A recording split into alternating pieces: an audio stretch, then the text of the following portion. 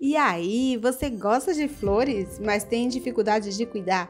E que tal você ter aí uma reprodução de uma flor natural? Isso mesmo, flores realistas feitas em EVA.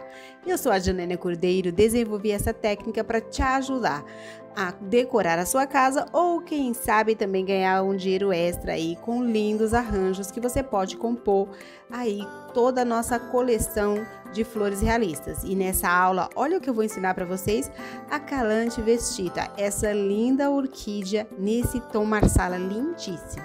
E também a branca com esse detalhezinho rosa, então não sai daí. Antes de começar a nossa aula, eu quero te pedir, se você ainda não é inscrito no nosso canal, se inscreve, ativa o sininho para você receber as notificações e compartilha essa novidade com seus amigos, tá bom? Nós vamos usar nessa aula os moldes em cesto 487 e 486 e temos também a miniatura que é o 553, tá? O EVA branco, o EVA verde, esses que eu estou utilizando é da Make Mais, ele é bem macio, é muito bom na hora de finalizar nossas peças. Eu vou usar aqui o rosa pink, ó, com um pincelzinho menor, porque eu vou pintar só essa partezinha aqui, ó, tá vendo? Vai fazendo movimentos circulares para deixar esse redondinho aqui e depois, ó, faz um leve esfumado na volta só para você saber onde você tem que fazer o recorte, tá bom? Dessa forma. Aí você vai se posicionar novamente essa parte que vai ser as pétalas de trás, tá? Ele primeiro é o miolo, agora são as pétalas, é um esfumado bem leve. O pincelzinho tá só sujinho de tinta, sem muita coisa, ó, movimentos leves. Agora no EVA verde nós vamos pintar aqui as partes de baixo, tá? Essa aqui é uma batata, então ela vai duas os dois lados, é o verde grama e eu tô usando aqui a tinta PVA verde oliva, tá? Vai fazer um esfumado começando pelas laterais tá vendo? Que você vai pintar duas vezes, porque a gente vai colocar ela dos dois lados, tá? Agora a folha, ó, mesma coisa, você vem com o pincel com a tinta, carrega bem aqui na lateral, tá vendo? Mas também não precisa ser tinta a ponto de escorrer, tá? E aí você vai, ó, fazendo movimentos circulares e puxando de vai e vem para fazer um esfumado legal e dar um efeito 2D, tá? Aqui, ó, você vem com a estampinha e vai fazer todo esse preenchimento, ó. Vai ficar os risquinhos assim, tá vendo? Para não ficar aquela marcação, né, aquela tinta, você vem com o pincel e vai suavizando, tá bom? Essas partes aqui, ó, você dá só uma escurecida e faz o recorte, tá?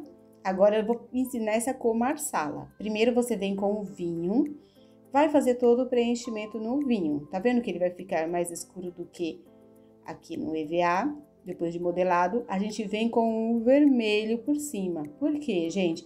O vinho, ele vai ficar mais escuro. E quando você esquentar no EVA, ele vai escurecer mais ainda essa tinta.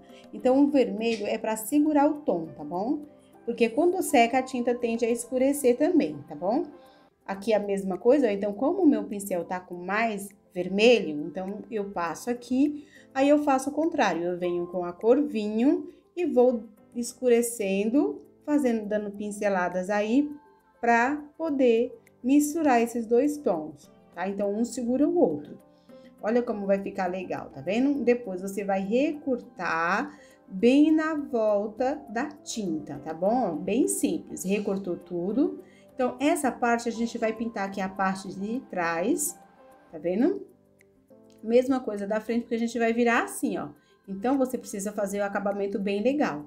Essa aqui pode ser a parte de trás branca, não precisa esfumar. Já a folha, ó, você vai fazer esse esfumado na parte de trás também, para ela ficar com um acabamento legal, tá? E a parte da lateral, põe o, o seu pincelzinho na diagonal, que fica melhor. Aí, ó, depois do ferro quente, você, ó, só vai fazer esse movimento. Olha como é simples a modelagem dela. Você joga, tá vendo? Um pouquinho pra frente e espera o EVA esfriar. Olha que lindo que fica, tá vendo? Ó, aqui. Ó, já subiu, tá vendo? É só alisar, tá vendo? Com o dedinho assim, ó, fazendo um carinho na parte de trás. Ela vai ficar já no formato certinho, tá? Ó, essa parte a gente esquenta, mas aí você pode esquentar primeiro essa parte de trás e, ó, vem, tá vendo? subindo assim, segura com o polegar e depois vem deslizando o dedo, puxando para frente, tá bom? Essa parte, ó, nós vamos esquentar assim, ó, você vai virar de para baixo e vai, ó, pressionar assim na unha, que ele vai ficar a forma certinha que precisa colocar, ó. Dessa forma ele vai ficar, ó. Tá vendo? Essas partezinhas aqui, ó, essas folhinhas é só aquecer e fazer essa cumbuquinha. Agora, a folha, você vai esquentar dos dois lados, deixa o EVA ficar bem, né, bem quentinho, ó, e vem assim, ó, tá vendo? Puxando aqui no meio, fazendo esse fundinho. Gente, esse EVA da Make Mais, ele tem 1.3 milímetros, mas ele fica muito firme depois que modela, viu? É muito bom mesmo. Aqui, ó, a batatinha, você vai pressionar assim, ó, em cima desse... Uh, eu uso aqui o arame encapado, tá? Pra ficar esse, essa marcação, ó. Você vai fazer dos dois lados. Agora, pra montagem da flor, você vai pegar esse araminho encapado, vai fazer uma dobrinha. Pra ele não escapar quando você fizer o seu arranjo, tá bom? Vai posicionar ele aqui certinho, ó. E vai colocar aqui um pinguinho de cola e vai fazer aqui a viradinha assim, ó, tá vendo? Aí você vai passar essa lateral aqui, a cola, para ele poder colar aí de frente, ó. Segura, cuidado para não colar o dedo. Vamos lá. Segurou assim, tá vendo? Ele vai já colar direitinho, ó. Segurou, pronto. Aqui a gente vai fazer a finalização, tá? Com a fita floral. Primeiro, você vai passar essa fita floral, aí depois você vai pôr um pinguinho de cola e vai colar essa aqui, ó, dessa forma, tá vendo? Pra cima. No meio aí vai ficar a pétala solitária, né? A pétala de cima vai ficar no meio dessas duas pequenininhas. Passou o miolo, vai posicionar aqui, ó, dessa forma. Aí depois, tá bonitinho? Vem com o pinguinho de cola e vai fazer a colagem. Olha só. Pôs um pinguinho, só isso. Segurou, já esperou colar tá? Agora aqui a gente vai passar um arame encapado atrás, porque essa folha é um pouquinho maior, para dar uma sustentação, tá bom? Dessa forma. Aí vem com o arame, esse arame é mais grosso, aquele arame que a gente tá usando em quase todos os nossos vídeos, mas se não tiver, você pode usar o arame galvanizado que você compra na loja de material de construção, tá bom? Tem outros vídeos aí que a gente tá usando bastante, então se é a primeira vez que você tá é, assistindo nossos vídeos, você pode ver outros vídeos aqui do nosso canal. Aqui, ó, essa batatinha você vai colar uma de um lado, outra de frente, tá vendo? Na mesma reta. Aí, aqui, ó, você vai passar cola na lateral, colar primeiro de um lado, abre aqui, pega sobras de EVA e faz aqui, ó, esse enchimento para deixar ela gordinha. Fechou com a cola instantânea e pode ser também com a cola de contato, se você quiser, tá bom? Ó, ficou assim, colou os dois lados, vem com o pincel, com a tinta verde e faz aqui o acabamento dando uma esfumada, tá bom? Pode usar um pouquinho da tinta do marrom também, né, pra fazer um escurecido direitinho.